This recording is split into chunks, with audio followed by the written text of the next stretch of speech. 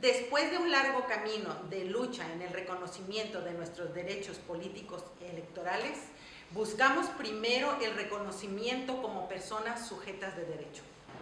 En México se obtuvo el derecho a votar y ser votadas en el año de 1953. El sufragio de las mujeres reconocía el derecho a la igualdad en la participación política. Se reconoce el derecho de las mujeres a decidir y la posibilidad de ser postuladas y electas para un cargo de elección popular, lo cual era solo ejercido por hombres. Aunque la Constitución reconocía el derecho del voto a las mujeres, la realidad es que han tenido que enfrentarse a la propia ley. Convirtiéndose desde entonces en el día a día en una lucha por ejercer nuestros derechos de manera libre, sin discriminación y sin violencia política en razón de género.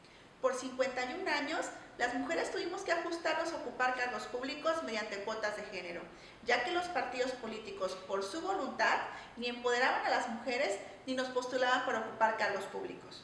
Es hasta la reforma de 2014 y atendiendo a lo que los tratados y acuerdos internacionales señalan, que trajo consigo el principio de paridad de género, determinando las cuotas de género e implementando acciones afirmativas. En Colima, estas acciones afirmativas permitieron que en el proceso electoral de 2018 el Congreso del Estado estuviera por primera vez integrado por el 56% de las mujeres. Para el proceso electoral 2021, la participación de las mujeres fue histórica. Contendieron 5 mujeres a la gubernatura, 222 a Congreso del Estado y 651 para ayuntamientos.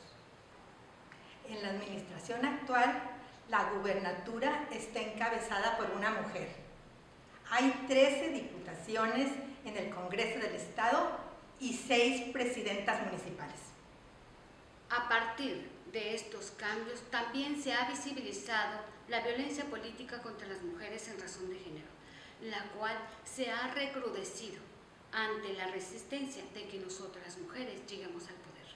En el Instituto Electoral del Estado de Colima, de la mano de las organizaciones de la sociedad civil, protegemos tus derechos político-electorales y luchamos por el acceso efectivo de las mujeres a los cargos de decisión pública.